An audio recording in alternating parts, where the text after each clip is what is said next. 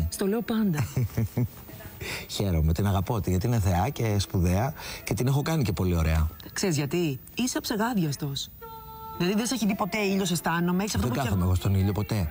Γιατί πρώτον έχω ένα θέμα στο δέρμα μου, έχω λεύκη που δεν κάνει να κάθομαι. Πώς προέκυψε η Λεύκη; Κληρονομικό. Θέλει προσοχή. Γιατί άμα κάτσεις στον ήλιο, γίνεσαι μπριμέ. Μετά λέω βγαίνω και σε πουά. και σε καρό και σε πουά και σε τέτοια.